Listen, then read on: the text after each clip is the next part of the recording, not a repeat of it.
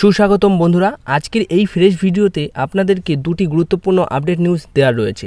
দুটিই রয়েছে transfer update news তো প্রথম যে আপডেট নিউজটা আপনাদেরকে দিতে চাই, সেটা হচ্ছে ঈশান পান্ডিতাকে নিয়ে। তো ঈশান পান্ডিতাকে নেবার ব্যাপারে মোহনবাগান দল অনেক দিন থেকেই আর কি দলে নেবার জন্য ইচ্ছা প্রকাশ করেছিলেন এবং কথাবার্তা যতটুকু বলার সেটুকু বলার চেষ্টা করছেন। কিন্তু মাঝখানে ঈশান পণ্ডিতের নাম কিন্তু অনেকটাই আর কি বুঝে গেছে। ট্রান্সফার মার্কেটে তার নাম কিন্তু আর শোনাই যাচ্ছে না।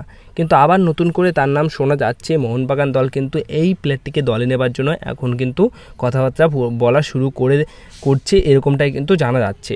তো দেখা যাক, ঈশান পণ্ডিতা আসে কি আসে না, সেটা তো পরবর্তী সময় আমরা জানতেই পারব। বাট ঈশান পণ্ডিতা মোহনবাগান দলে আসলে অনেকটাই সুবিধা হবে। মোহনবাগানের অ্যাটাকিং সাইডে একটা পজিটিভ স্ট্রাইকার দরকার। তো যদি ডিমিত্রি পেট্রেটাস জাসান কামিন্স এর পাশাপাশি যদি ঈশান পণ্ডিতাও দলে চলে আসে, সেটা কিন্তু মানে আক্রমণ ভাগে যথেষ্ট শক্তিশালী করবে দলকে। এবার সেটা শুধু সময় বলবে যে ঈশান পণ্ডিত আসবে কি না আসবে না। এর পাশাপাশি শেষ যে আপডেট নিউজটা আপনাদেরকে দিতে চলেছি, সেটা হচ্ছে চেন্নাই এফসির দল মোটামুটি আরও একটি প্লেয়ারকে কিন্তু কনফার্ম করে নিচ্ছে।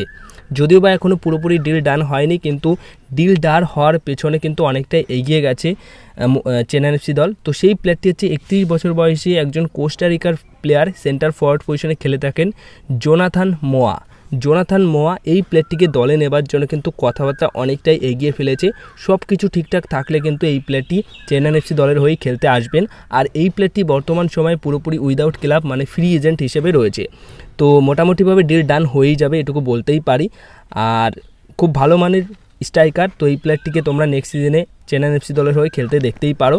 তো যখন এই প্লেয়ারটির সাথে চেন্নাই এফসি দলের ডিল ডান হয়ে যাবে অফিসিয়াল অ্যানাউন্সমেন্টটাও করে দেবে, তখন আপনাদেরকে আরও একবার জানিয়ে দেব এই বিষয়টা। তো আজকের এই ভিডিওতে আপনাদেরকে একটাই আপডেট নিউজ দেওয়ার ছিল। যদি ভিডিওটা ভালো লেগে থাকে, অবশ্যই ভিডিওতে লাইক শেয়ার কমেন্ট করবেন এবং চ্যানেলটিকে সাবস্ক্রাইব করে পাশের বেল নোটিফিকেশনটা অল প্রেস করে নেবেন।